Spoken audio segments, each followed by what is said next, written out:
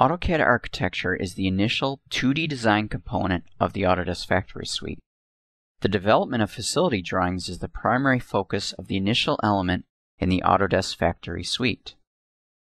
AutoCAD Architecture provides designers the flexibility to work in the traditional AutoCAD environment or in the AutoCAD Architectural Workspace where they have access to specific commands for walls, doors, windows, beams, and many more architectural design elements.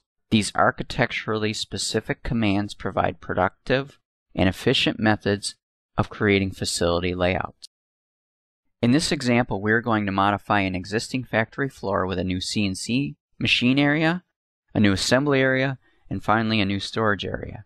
Another modification to this factory floor is separating the machining, assembly, and office area from one another.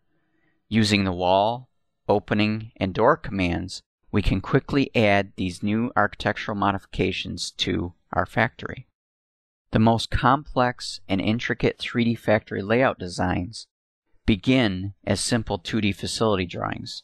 The Autodesk Factory Suite delivers state-of-the-art 2D design capabilities by providing the most versatile and dynamic drawing generation package in use today. Adding column grids to our factory floor drawing has been a manual task in the past. AutoCAD Architecture has purpose-built commands to automate the creation of our column grid.